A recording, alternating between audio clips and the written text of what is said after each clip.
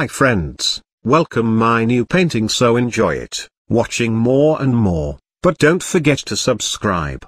Thanks a lot.